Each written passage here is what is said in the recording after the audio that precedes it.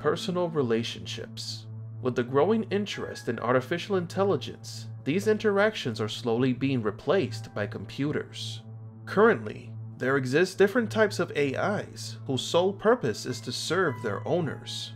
Alexa and Siri are perfect examples of these virtual assistants, and with each new software update, they seem to become more human.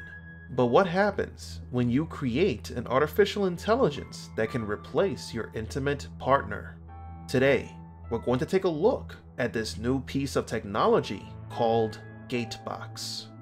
In recent years, there has been a growing number of people who have rejected real human relationships and interactions and have immersed themselves in virtual realities, even becoming romantically interested in cartoon or anime characters. This type of person is what a particular company wants as a customer, and thus they created the Gatebox. The device is a holographic projector that also works as a personal assistant. You can even control certain house functions with this device, like turning on and off the lights or controlling the temperature. But this personal assistant is not limited to the conventional skills of something like Siri or Alexa.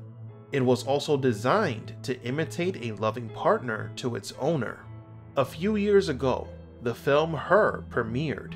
It tells the story of a man who fell in love with an AI that was in his phone.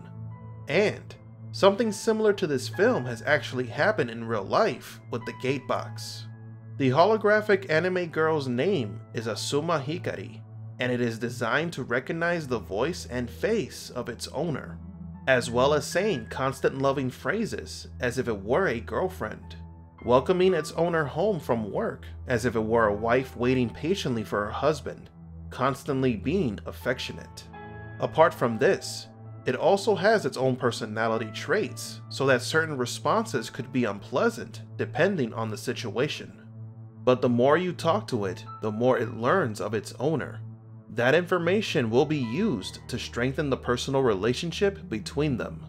The cost of this device is around $1,300, with a maintenance fee or subscription of $13 per month. Some time ago, Google introduced a personal assistant AI that does not differ much from a real person.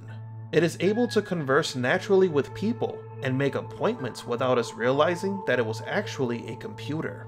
Without a doubt, humanity has taken giant leaps towards more advanced artificial intelligence, with possible repercussions.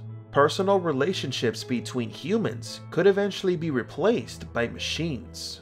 Virtual partners created to the specifications of each owner.